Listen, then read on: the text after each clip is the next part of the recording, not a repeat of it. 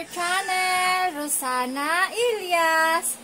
This time guys, ipapakita ko sa inyo ang aking pagluto ng aming ulam dito sa bukid na lagi naming kinakain. Oo. Para na rin sa aming karne. So, pakita ko sa inyo ang ingredients. First thing is potato. Ito yung nabalatan ko na na potato. Tapos, malaki-laki yung slice niya kasi kainin to with chapati, ganun-ganun siya. Parang, parang carne na rin siya. So, meron akong garlic. Pinupukpok, nililiit na siya. Meron akong green chili. Merong onion. And then, Tomato. Isang tomato lang kasi kapag marami matamis na ang ulam. So, meron tayong pang-garnishing na coriander leaves. Tapos, ang hindi mawawalang sili powder. Okay, lutuin na natin dito sa aking kaldero. Aking sandok is kahoy, no? So, ito na, start na tayo guys. Panoorin nyo hanggang step by step pwede ninyong lutuin sa inyong bahay. Okay?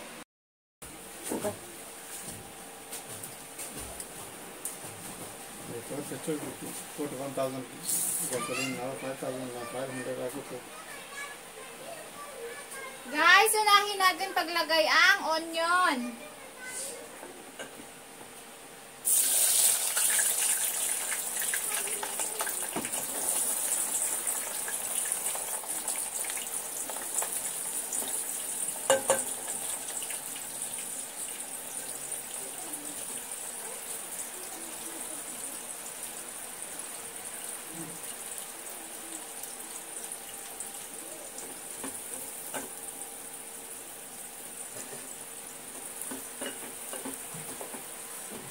Init, mga sisi, grabe.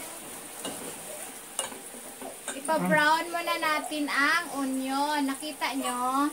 Ano luto mo? Ha? Pa-brown natin.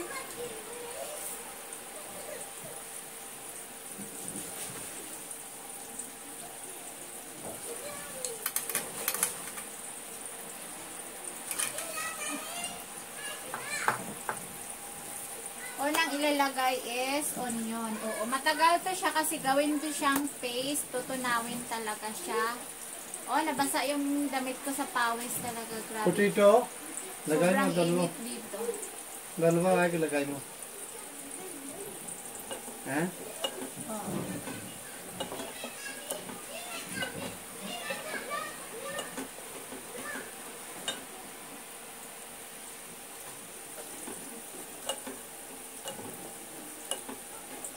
Ipa-brown muna natin yung onion. Matagal siya mag-brown. Tingnan natin mamaya. So guys, nakita ninyo na parang brown na yung ating onion. Ayan oh, brown na. Ilagay na natin yung other ingredients na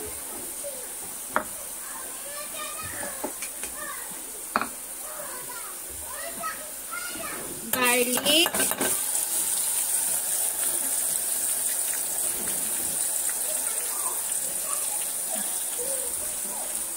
garlic, tapos one hands lang ako green chili and tomato. Yun. Paghalo-haloin na natin. Oh, gulay pa lang yan ha. Ang dami. Oo. Ganyan dito magluto. Halukayin nyo lang. Halukayin. Take note ha. Before ilagay yung ibang ingredients, ipa-brown muna ang onion para magiging paste. Wala na kayong makikita mamaya. Oo. Halukayin pa yan siya ng halukayin. Before ilagay yung, kapag wala na kayo makitang ganito mamaya, pinong-pino, parang ketchup na siya, pwede na natin ilagay ang tomato, ay ano, potato.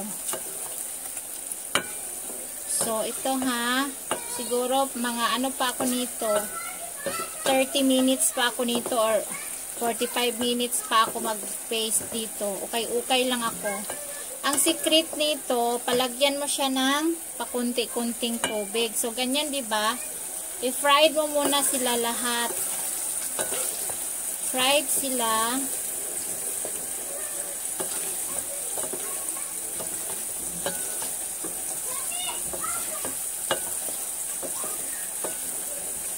I-fried sila ng i-fried.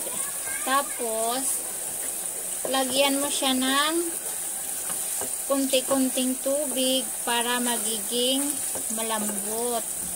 Kunti-kunti lang mga sisi, wag marami.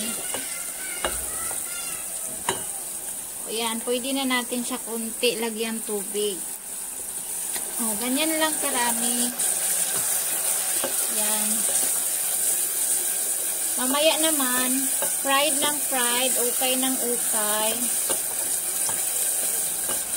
Tingnan nyo, nagiging dahan-dahan malambot na siya.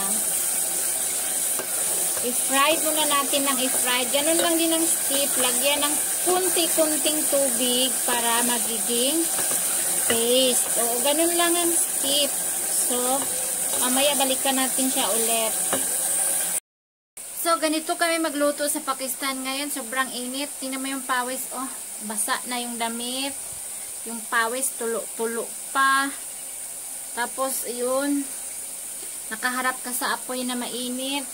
Oh, 'di ba?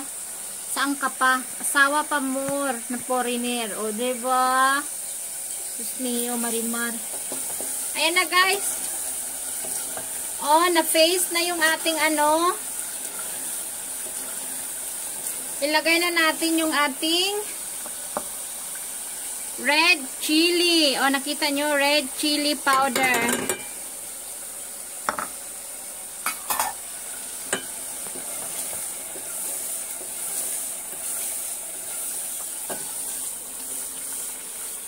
Kita nyo ba? Ayan, pula na siya. Tapos, ilagay na natin yung ating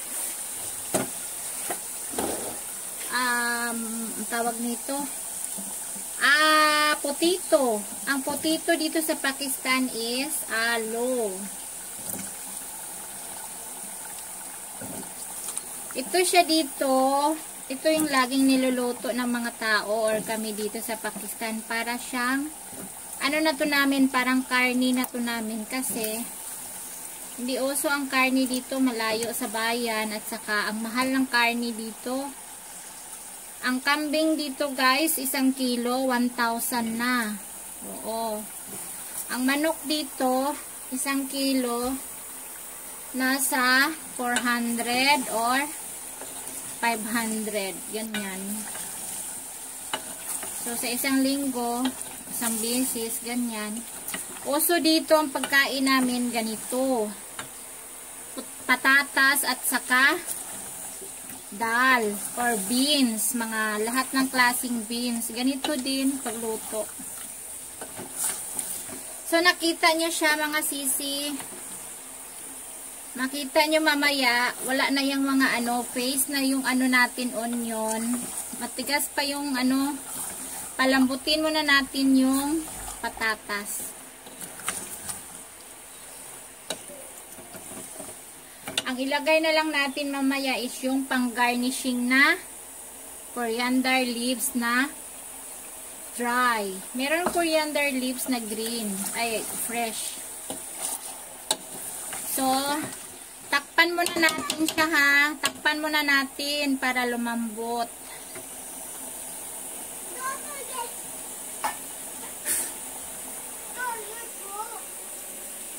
Tingnan natin mamaya. Ayan, na-fried na yung ating potato ng mga 10 minutes. I-fried muna. Tapos, saka natin siya lagyan ng tubig para malambot. Oo. Yan.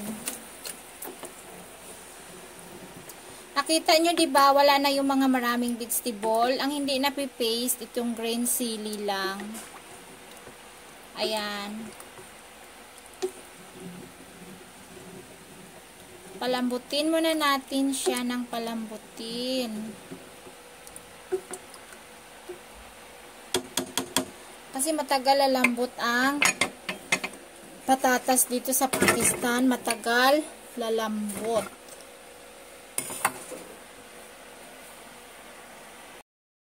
So, ito na. Check natin kung malambot na ba yung ating potato.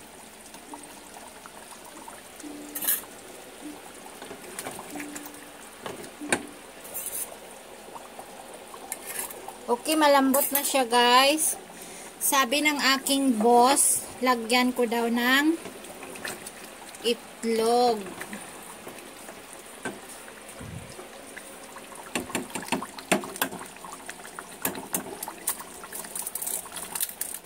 One hands lang tayo. Hawak yung kabila ng cellphone.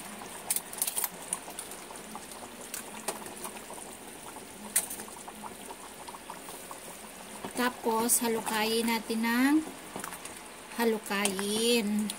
Depende sa inyo, pwede lagyan ng itlog, pwede hindi. Ayan na siya guys, na-sticky na siya. Bar. Andoon. Dahil yan, huwag mong galawin. Lakad na magdamit ka na doon, ka. Alis bi madilim. Ayun na siya, luto na yung ating alu curry or potato curry. O, di ba?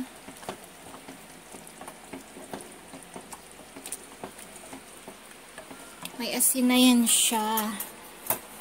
So, try natin tikman. Ganyan mamaya sausaw sa chapati. Kailangan merong sauce na konti. Oo, kasi para may sauce sa chapati. Kasi matigas yung ano, bread nila chapati. So, ito na. Natapos ang ating ulam for today. Thank you, thank you.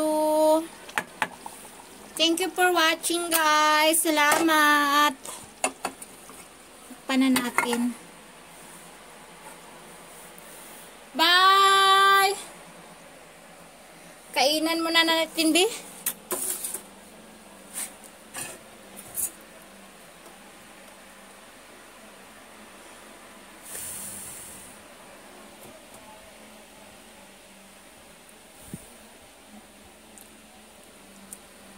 Mmm.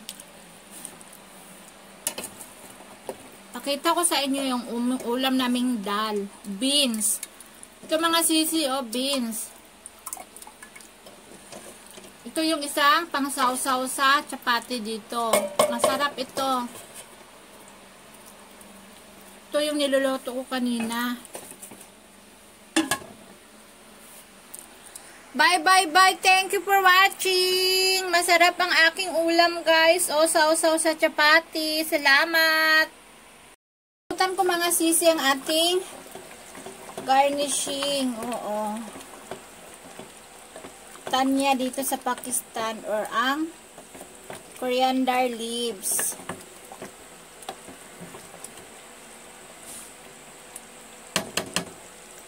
O, ayan. Mukhang super yummy. Good luck sa dalawang araw na kainan. O, diba?